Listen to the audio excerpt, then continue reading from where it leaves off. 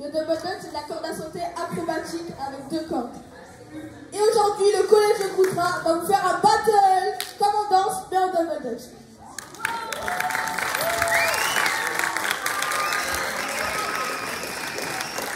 Veuillez accueillir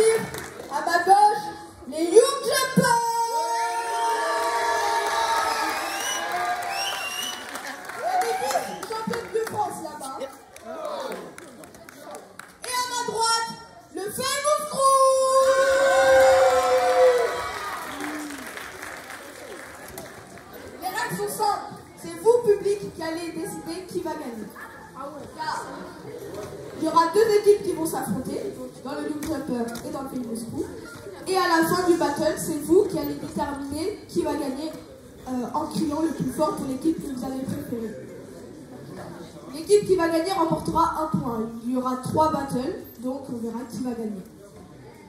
J'espère que ça va vous plaire. Et place à la bouteille pour déterminer qui va commencer.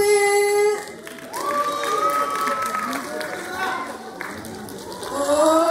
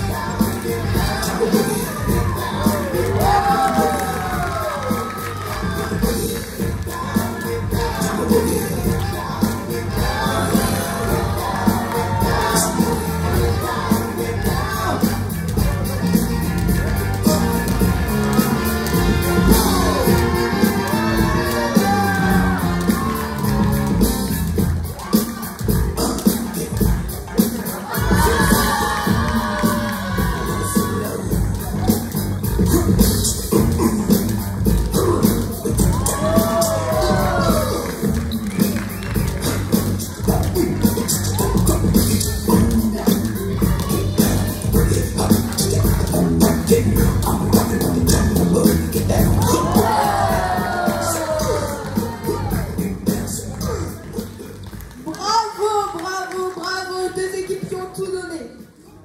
Maintenant, place au.